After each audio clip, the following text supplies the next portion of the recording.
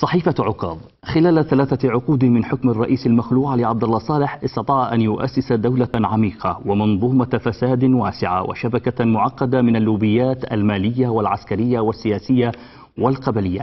ما الخطة الاستراتيجية التي يحرص عليها فخامة الرئيس عبد الرب منصور هادي للتعامل مع اليمن الجديد؟ الرئيس أولا بالنسبة للدولة العميقة في صنعاء ليست من زمن علي عبد الله صالح فهي من زمن الإمام ولم يعتمد أي تشريع لثورة السادس والعشرين من سبتمبر. واليمن تحتاج إلى خمسة قطاعات الماء والكهرباء الصحة التربية والتعليم والطرق. وما زلنا نشكو منها حتى اليوم. وحين تمت الوحدة وضعت في الدستور بعض البنود على أن تنجز المشاريع المهمة ولكنها لم تنجز لأن الشعب نفسه مبني على القبلية ومتأخر هو نفسه سبعون عاما عقاب إلى متى؟ الرئيس في الجنوب كنا 22 سلطنة وولاية. اتخذت الحكومة البريطانية قرارا بإنهاء الثأر القبلي أنهينا كل شيء. من قتل أحدا كان يهرب إلى الشمال والثأر لا يزال في الشمال حتى اليوم.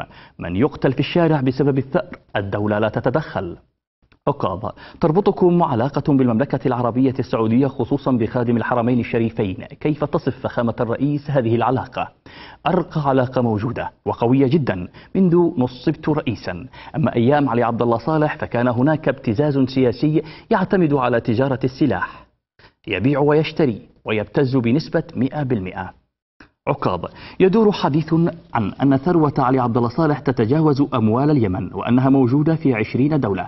ما صحة ذلك؟ الرئيس ما قيل عن ذلك غير دقيق. هذه ليست أموالا. هو يأخذ من التجار والمناقصات والهدايا ويعطونه إياها. لكن الأموال التي يكسبها من غسيل الأموال عبر اليمن من الطيران أربعة مليارات دولار. استلفوا خمسة ملايين دولار وأربعة مليارات أموال منهوبة. عقاب.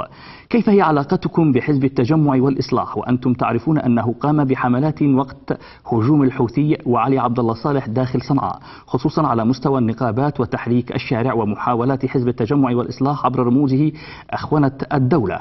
هل كان ذلك ظاهرا لك؟ الرئيس وقتها كنت الأمين العام لحزب المؤتمر الشعبي العام والنائب الأول لعلي عبد الله صالح ولم يكن حزب الإصلاح لديه القدرة أن يصل إلى هذا. صحيح أن لديهم قدرة ولكن عندما ارتبطوا بالاشتراكيين وحزب البعث العراقي وحزب البعث السوري والحزب الناصري تشكلوا وكان حينها علي عبد الله صالح سمح بالانتخابات وهم لديهم أموال والشعب اليمني فقير فمن يعطى من الشعب خمسين أو حتى عشر ألف ريال يصوت له. عكاظ فخامة الرئيس هل كنت متنبها لهذه الرؤوس وعملهم نحو أخوانة الدولة حين تسلمت الرئاسة؟ وهل أرسلت لهم تحذيرا؟ الرئيس لا.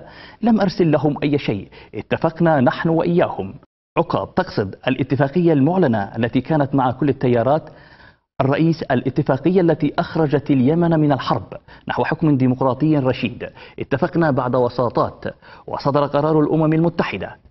واتفقنا أنا والإرياني من المؤتمر وياسين سعيد نعمان وعبد الوهاب الأنسي من الاشتراك والإصلاح سألنا أنفسنا سؤالا هل يتم تغيير الحكم؟ وكانت هناك نية لتغييره يريدونه من بيت الأحمر في سنحان أو في حاشد.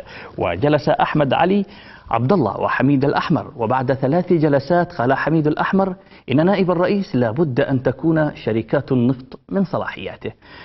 عقاب أي أن هناك طمعا في الجانب الاقتصادي.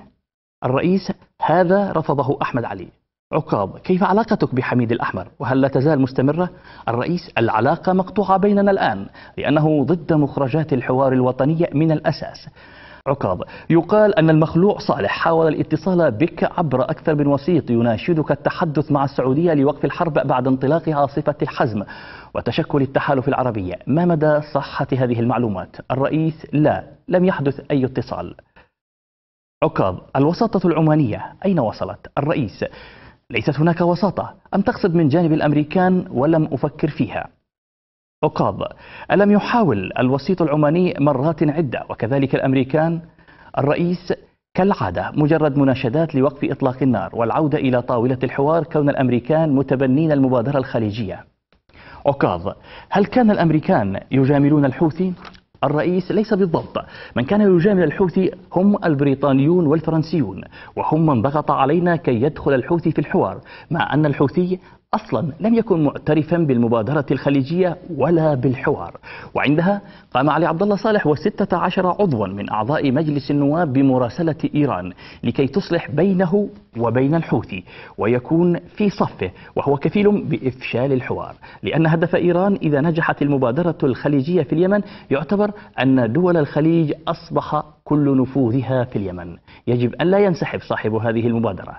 تكلمت مع مبعوث الأمم المتحدة أن إيران ضد المبادرة الخليجية وإن إيران تعمل كذا وأن علي عبد الله صالح أرسل 16 عضو مجلس نواب إلى إيران لإقناع الحوثي بأن يكون في صفه. اتصلوا بحسن نصر الله في لبنان فقال لهم لا. اتضح أن علي عبد الله صالح يعمل من جانب والحوثي من جانب آخر وهدفهم ألا ينجح الحوار. بعدها اتخذت جملة من القرارات عبر تحريك القيادات العسكرية. صنعاء نفسها مقسمة إلى مربعات نتقاتل ليلا ونهارا. اتخذت قرارات في الوقت نفسه لاستعادة حالة الهوية لكن رؤساء الأحزاب أغلقوا هواتفهم ظنا منهم أنني نويت الرحيل.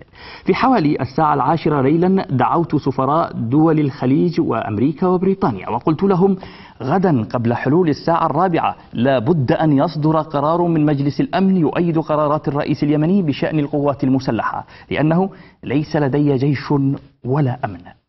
عقاب يعني تحمي نفسك بقرارات دولية. الرئيس نعم استدعيت السفير السعودي وأبلغته بأن يتصل بالزياني ويخبره بأنه في الساعة الرابعة أريد قرارا من مجلس التعاون الخليجي يؤيدني لأني أنا أفعل المبادرة الخليجية.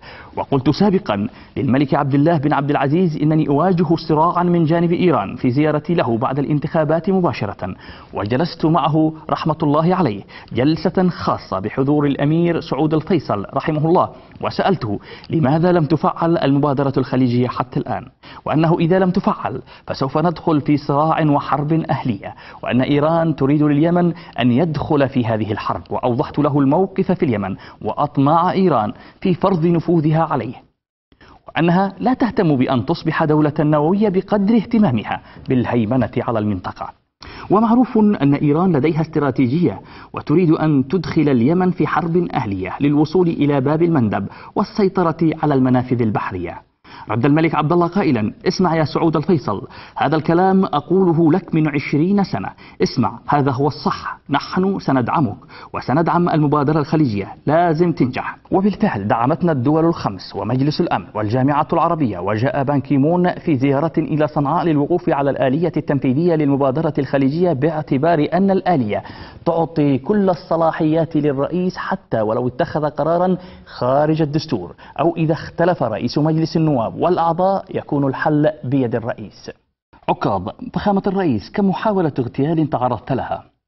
الرئيس أربع مرات غير المرة الأخيرة التي كانت في عدن وإحداها عام 1999 كان عندي احتفال في شبوة. اتصل بي علي عبد الله صالح وقال خذ معك فلان وفلان. عددا من القيادات تأخرنا في المطار نحو ساعة من وصول الحفل.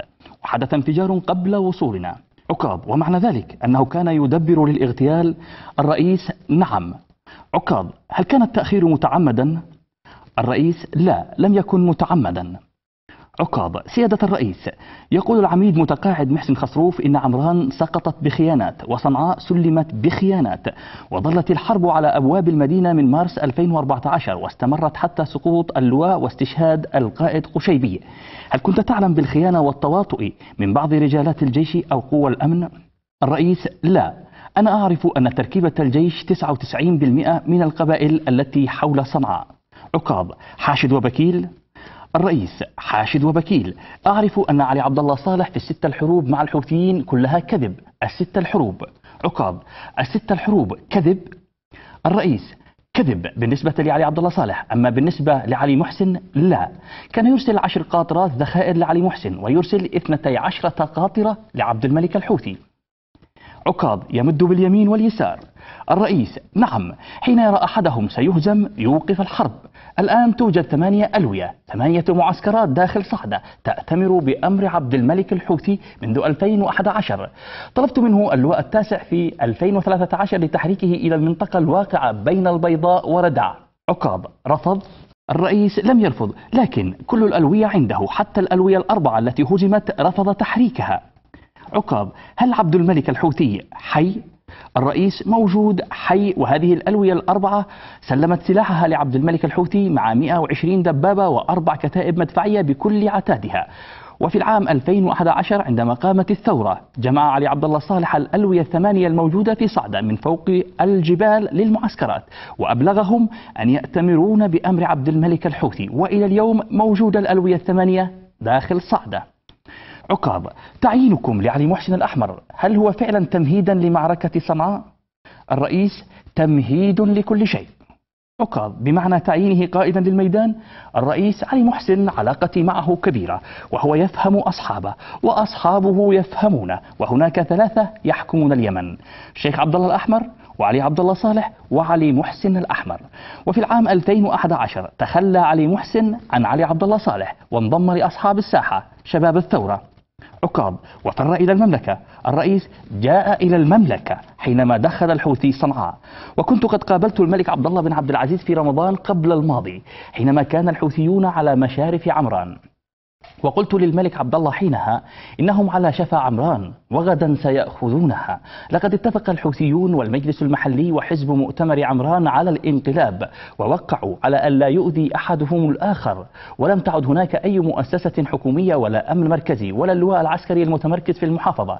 وأكدت للملك عبد الله أن عمران ستسقط في ذلك الوقت وبسقوطها ستسقط صنعاء لأن القادة الحوثيين والقبليين يؤمنون بأن قتل القبيل لأخيه القبيلي في تلك المناطق حرام ومقاتلتهم للألوية العسكرية بكل تشكيلاتها جائز عقاب هل تعتقد أن معركة صنعاء ستطول؟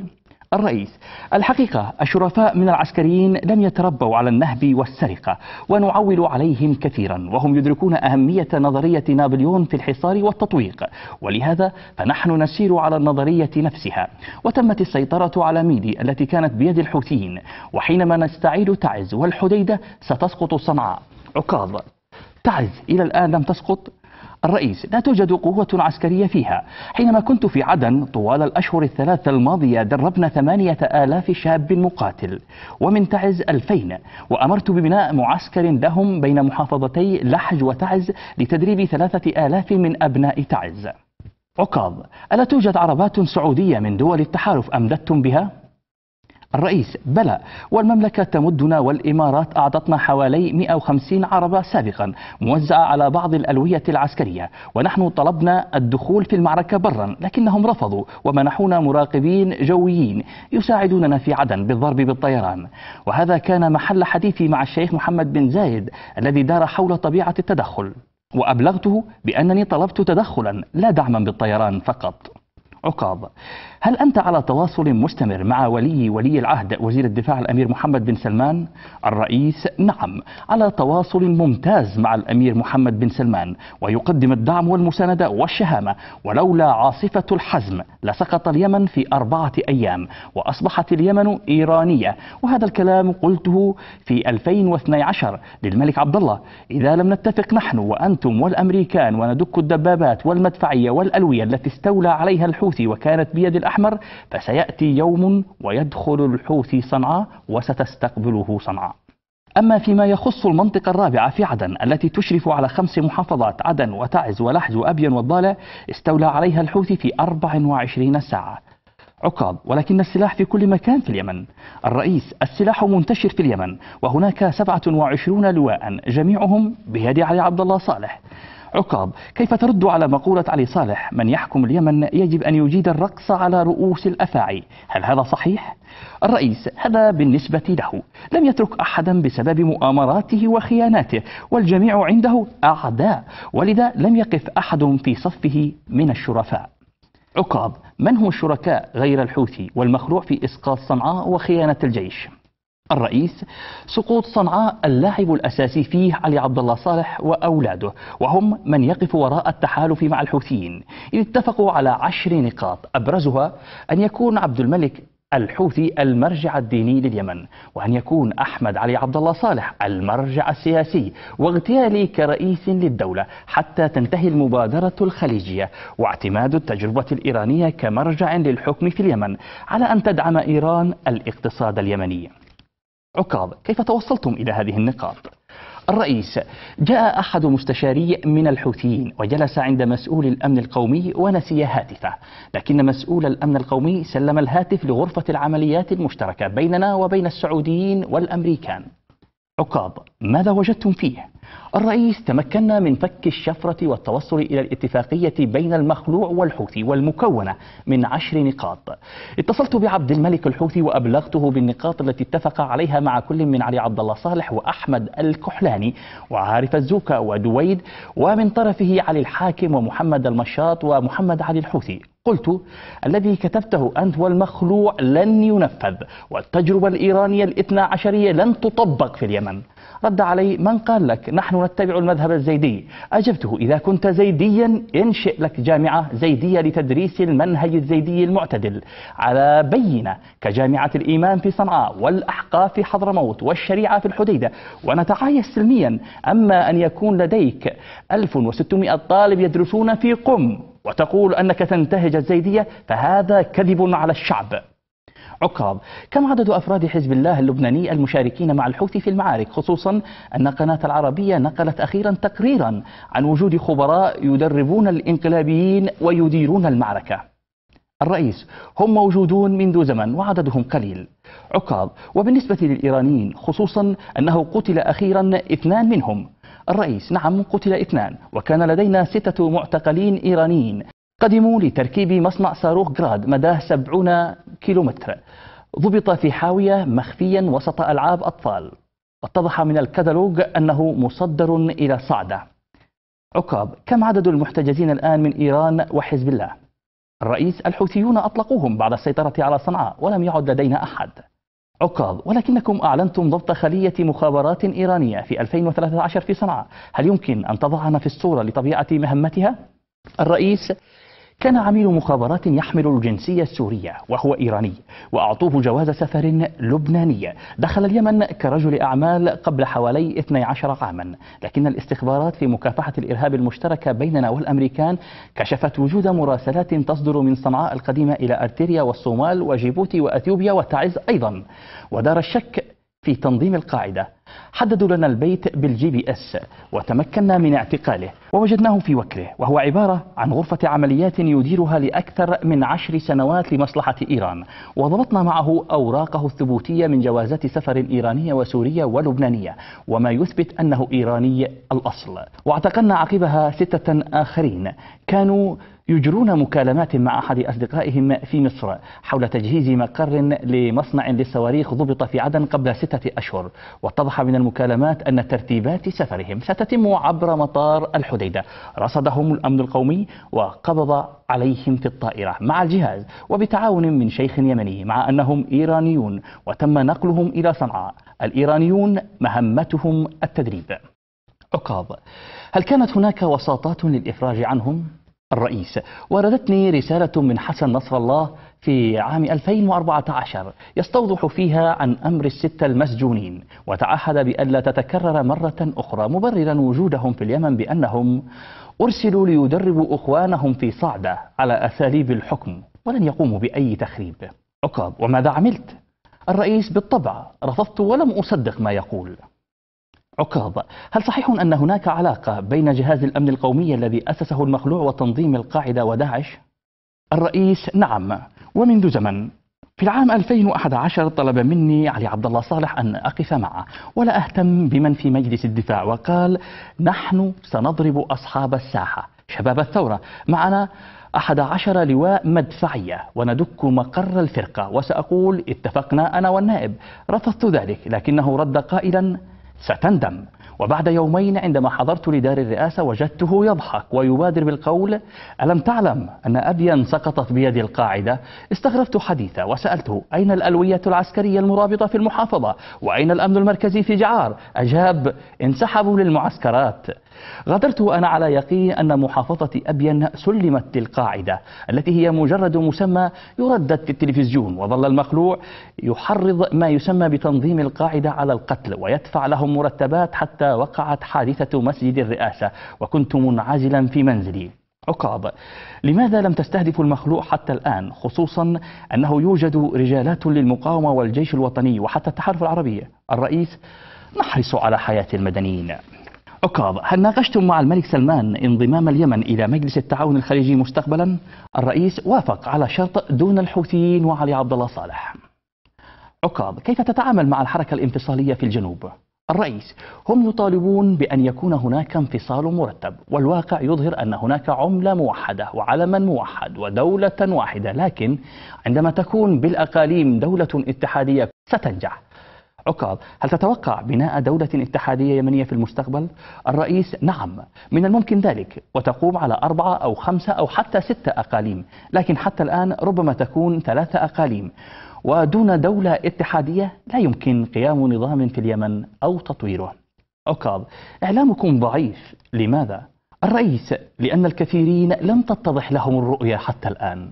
عكاظ فخامة الرئيس لابد أن يكون الصوت الإعلامي في اليمن قويا وهناك كفاءات إعلامية يمنية من المفترض أن يستفاد منها في تجرية الرؤية للإعلاميين اليمنيين خصوصا من زملائهم وبني جلدتهم الذين يعملون في وسائل الإعلام السعودية وغيرها. الرئيس كان أي إعلامي في عهد علي عبد الله صالح يوجه انتقادا له أو يتحدث في السياسة يسجنه.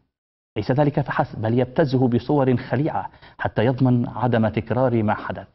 عكاظ إيران محاصرة من دخول اليمن برا وبحرا وجوا كيف توصل السلاح للداخل؟ الرئيس هي تستغل سفن الصيادين العادية للدخول إلى اليمن عبر الساحل البحري بين المكلا والغيضة. واليمن تمتلك ساحلا كبيرا يمتد على طول 2600 كيلومتر. وكنت قد طلبت من الملك عبد الله بن عبد العزيز رحمه الله أن يمدنا بقاعدتين بحريتين لحمايتنا كي نتغلب على الكثير من الإشكاليات التي تواجهنا وغالبيته تستهدف أمننا وأمن المملكة. فعملية تهريب السلاح أو المخدرات هدفها النيل من الشباب اليمني والسعودي وهو ما تسعى إيران لتدميره عبر البوابة البحرية. عقاب. هل هناك توجه مستقبلي لإنشاء قواعد عسكرية سعودية أو خليجية أو حتى عربية بعد انتهاء الحرب في اليمن؟ الرئيس ممكن ذلك. نحن وأنتم جسد واحد وإيران في مرحلة الإعداد تجهز جيشا يصل قوامه إلى 3 مليون و700 ألف شخص. والله أعطاكم اليمن ثروة بشرية ولديهم استعداد ليكونوا عساكر.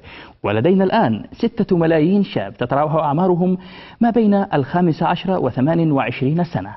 جاهزون ليتم تدريب مليون منهم للاستفادة منهم من خلال التعاقد مع مليون شاب لمدة أربع سنوات. ثم يتم تسريحهم ويتم التعاقد مع مليون آخر. وهكذا كما كانت تفعل بريطانيا في الجنوب. يمكن أن تستفيدوا من هذه التجربة. وتضعوا هؤلاء الشباب على الحدود الجنوبية لمنع تهريب السلاح والمخدرات.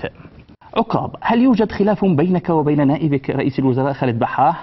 الرئيس لا خلاف بيننا. هناك خلاف في الرؤية فقط والظرف يحتم علينا أن نكون معا وقد اخترته لهذه المهمة. وعسى الله أن يوفقه.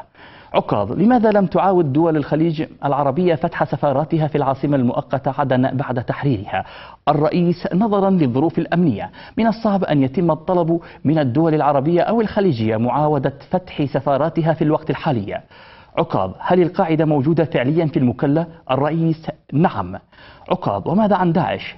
الرئيس وداعش موجود يتحدثون عن وجود داعش لكن الموجود على الأرض داعش التي يديرها علي عبد الله صالح عكاظ لو اتصل بك علي عبد الله صالح أو أرسل أحدا إليك طالبا وساطتك للخروج من اليمن أو الاستسلام ماذا سيكون ردك؟ الرئيس أنا موافق على خروجه من اليمن وسابقا قدمت مقترحا وقلت لا يمكن أن تنجح المبادرة الخليجية إلا إذا خرج علي عبد الله صالح. ومن ضمن ما طرحته خروجه إلى المغرب لعامين حتى نستفتي على الدستور ونجري انتخابات برلمانية ورئاسية.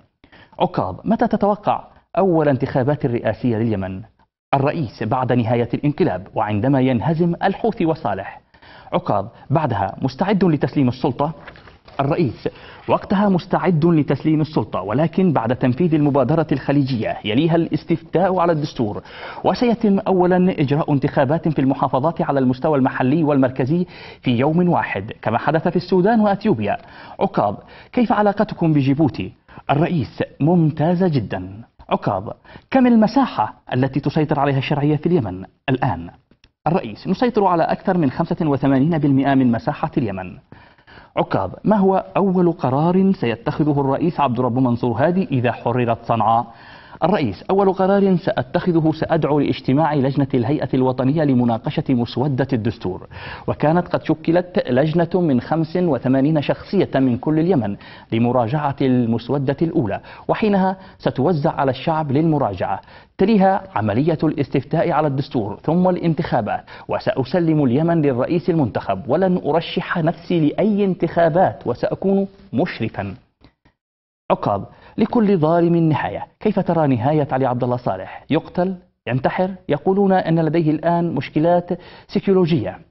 الرئيس صاحب الحروق من الدرجة الثانية بحسب الأطباء الأمريكان سيظل يعاني من أمرين. إما أن يكون متوترا باستمرار حتى مع أولاده أو يكون بليدا وشارد الذهن. عكاظ ونهاية الحوثي كيف تراها؟ الرئيس ستأتي نهايتهم كلهم. عكاظ هل هناك دول غربية تتغاضى عن الميليشيا الانقلابية غير الروس؟ الرئيس أظهر الروس موقفا مؤيدا للشرعية ولتنفيذ القرار الدولي 2216 من خلال لقاء وزير خارجيتنا مع نظيره الروسي أخيرا وأكدوا أنهم ضد الحوثي وعلي عبد الله صالح عكاظ من الآن يمسك بزمام الأمور في اليمن؟ الرئيس زمام الأمور موزع بين الرئيس الشرعي والملك سلمان ودول مجلس التعاون الخليجي عكاظ والمبعوث الأممي؟ الرئيس لا. عكاظ ما دور ولد الشيخ إسماعيل؟ الرئيس لم يقدم شيئا. عكاظ قيل أن المبعوث السابق جمال بن عمر كان حوثيا أكثر من الحوثيين. الرئيس هو الذي فرض الحوثي للدخول في الحوار لأن الحوثي لم يوقع على المبادرة الخليجية ولم يعترف بالقرارات الأممية وأعطاه بن عمر أكثر من أي حزب موجود في الحوار. عكاظ هل أنت واثق من الرجال الذين حولك؟ الرئيس بإذن الله. عكاظ هناك تقارير تتحدث عن أن المصالح تحكمهم. الرئيس المصالح كثيرة. بعضهم تحكمهم المصالح وبعضهم القبلية. عكاظ هل تشعر اليوم أنك أقوى من أي وقت قد مضى؟ الرئيس. نعم أقوى بعاصفة الحزم. عكاظ لماذا يقال أن الرئيس هادي قوته في هدوئه؟ الرئيس لأني عسكري. عكاظ لكنهم يقولون إنك تعاني من مشكلة الانعزالية في الحكم الرئيس وما المطلوب؟ هل مطلوب مني أن أتكلم مع الناس؟ إذا فشى سري انتهيت عكاظ كيف علاقتكم بشباب الثورة؟ الرئيس ممتازة جدا عكاظ هل هم على تواصل معك؟ الرئيس على تواصل معهم ونفذت كل طلباتهم عكاظ والآن العلاقة مستمرة؟ الرئيس نعم عكاظ أحد اليمنيين حملني سؤالا لفخامتكم متى ستعود الرياضة إلى اليمن؟ الرئيس حينما يوجد الأمن والاستقرار كل شيء سيعود عكاظ التحالف العربي في 320 يوما ماذا حقق؟ الرئيس حقق الأمن والاستقرار لدول الخليج لأن إيران إذا كانت سيطرت على اليمن فإن دول التحالف ستكون تحت نظر إيران. والتحالف نجح وعاصفة الحزم أرعبتهم. عكاظ بعض السفراء التابعين لعلي عبد الله صالح لماذا لم يتم تغييرهم؟ الرئيس كنت في صنعاء نتناقش مع الأحزاب وكل حزب يريد سفيرا يمثله والقانون يمنحني تعيين عشرين والباقون الثمانين من السلك الدبلوماسي والأحزاب ترفض هذا الشيء. وهناك ثمانية عشر سفيرا يتبع لهم في مصر وتركيا واليابان ودول أخرى عكاظ فخامة الرئيس من الذي أخرجك من صنعاء إلى عدن؟ الرئيس هذا لن أقوله. عكاظ أرجوك الرئيس هناك أشياء كثيرة وهناك ناس لا يزالون داخل صنعاء. عكاظ من من وزرائك حتى الآن في المعتقل؟ الرئيس تمكن من الإفراج عن وزيرين فيما لا يزال وزير الدفاع وشقيقي مسؤول الأمن السياسي في محافظة عدن ولحج في المعتقل عكاظ السفارة الموجودة في صنعاء هل لديكم موقف منها؟ الرئيس لا عكاظ الفترة القادمة ستعقد القمة العربية ماذا ستقول؟ الرئيس لكل مقام مقال عكاظ هل توجد زيارة قريبة لأي بلد آخر؟ الرئيس ربما إلى الكويت وقطر والإمارات عكاظ هل تخشى الاغتيال؟ الرئيس على الإطلاق لم أخشى. حتى في عدن لأنني تعرضت للاغتيال أكثر من مرة. أنا أول من قاد معركة ضد الشمال في عام 1972 وكنت قائد محور في محافظة الضالع وفي حرب 1972 قدت المعركة ضد الشمال في كرش وأنا قائد محور أيضا. عكاظ من وعدكم بإعادة إعمار اليمن غير الدول الخليجية؟ سمعت أن هناك دولا أخرى. الرئيس. لدينا وعود ونفكر في مؤتمر لإعادة إعمار اليمن وسيعقد في الأمم المتحدة. واتفقت مع البريطانيين لأنهم يشرفون على الملف الاقتصادي اليمني. عقاب ما رسالتك كرئيس إلى جنود قوات التحالف من دول الخليج وغيرها الذين استشهدوا من أجل اليمن؟ الرئيس نترحم على كل الشهداء في اليمن والسعودية والبحرين والإمارات ونتمنى الشفاء العاجل للجرحى وأقول لهم إن تضحياتهم في اليمن هي تضحيات للجزيرة العربية وليس طلبا لأن بعض الناس يقولون لماذا يذهبون إلى اليمن؟ إذا سقطت اليمن سقطت الجزيرة العربية. عكاظ متى تتخلى عن هدوئك؟ ولا تجامل بعض القيادات التي لها علاقة بالمخلوع علي عبد الله صالح. الرئيس عندما أشعر من كلامك أنه يؤثر على استراتيجيتي لا أقبله. لكن إذا الكلام عادي فأنا لدي إيمان في الحظ. يساعد القائد بنسبة 45% والباقية 55% على شطارته وقوته. وإذا اتخذت القرار على 55% فأنت متسرع. وإذا لم تتخذ القرار على 56% فأنت متردد. عقاب ماذا تقول لحسن نصر الله بعد أن أدرجت السعودية مجموعة من أعوانه على القوائم الإرهابية؟ الرئيس أقول له كن عربيا قبل أن تكون إيرانيا وأن الذي يفكر فيه هو والإيرانيون لن يصلوا إليه. العالم تطور. عكاظ عدد من اليمنيين في الضاحية الجنوبية في بيروت يخرجون على قنوات حزب الله وقنوات إيرانية. هل تعلم عنهم شيئا خصوصا أنهم تدربوا في الإعلام الإيراني؟ الرئيس توجد أربع قنوات تبث ليلا ونهارا المسيرة العالم المنار والميادين وطالبنا الإيرانيين بإيقاف تلك التدخلات. عقاب. كيف علمتم بعملية تهريب السلاح عبر السفينتين جيهان واحد واثنين؟ الرئيس تمكن من ضبط سفينة جيهان بعد أن تمت مراقبة اتصالات لأحد أبناء صعدة الذين ذهبوا إلى إيران بهدف التهريب وترك في أحد المنازل بمدينة قريبة من الجزيرة الإيرانية التي يتم فيها الشحن والتهريب وأبلغ في الاتصال أقاربه بأنه محتجز في منزل بعد أن سلب منه حتى هاتفه الخلوي. تتبع الأمريكان هذا الاتصال وتمت مراقبة عملية الشحن. لوحظ أن السفينة يتم شحنها بالسلاح وتلحيم أجزائها ويعزل السلاح عن مادة الديزل التي وضعت أعلى السفينة للتمويه. وعندما أبلغنا بأن هناك سفينة تحشد السلاح في طريقها إلى اليمن بالقرب من عمان توجهنا بقوات من مكافحة الإرهاب وتمت ملاحقتها بالزوارق وكان على متنها ثمانون شخصا على أنها متجهة لليمن. وكان هذا عام 2014 وهما السفينتان جيهان واحد وجيهان اثنين. عكاظ لماذا لم يضبطها العمانيون؟ الرئيس ضبطها العمانيون ونقلوها إلى منطقة المسيلة في حضرموت. التقينا في مؤتمر القمة العربية آنذاك في الكويت. وذكرت وزير خارجية عمان يوسف العلوي وقلت له نحن والأمريكان متابعون للسفينة وهي محملة بالسلاح وإذا رجعت إلى إيران فأنتم شركاء في تهريب السلاح. عقاب كيف علاقتكم مع العمانيين؟ الرئيس طيبة. عكاظ هل تشعر بأنهم يميلون إلى الحوثي؟ الرئيس لا لا يميلون بل هم يحاولون تقريب وجهات النظر عقاب تقصد التوافق. الرئيس حينما لم تقدم الأمم المتحدة شيئا سواء سفن السلاح أو غيرها طلب مني أن تكون عمان وسيطا بين اليمن وإيران بحيث نطلب عبرهم توقف إيران عن تدخلاتها في الشأن اليمني. أرسلت مسؤولا ودعوت مدير مكتب السلطان قابوس إلى صنعاء بغرض عقد لقاء بين مسؤول الأمن القومي الإيراني ونظيره في بلادنا. وطرحت عليه الأدلة بما فيها المحتجزون الإيرانيون ومصنع الصواريخ والسلاح المضبوط. وشددت على المسؤول الذي كلفته بعرض تلك الأدلة على شكل نقاط دون الخوض في أي حديث آخر إلا أن المسؤول الإيراني طلب مغادرة الوسيط العماني وقال لمبعوثنا لا يمكن أن يعيش الإنسان بلا أكسجين. الثورة الإيرانية هي أكسجين الشعوب المستضعفة وكانت هذه الجملة نهاية الاجتماع. عقاب. هل تواصل معك الإيرانيون بشكل مباشر أو عبر وسطاء؟ الرئيس هم متورطون بالسلاح والسفن ولم نتحدث مع بعض.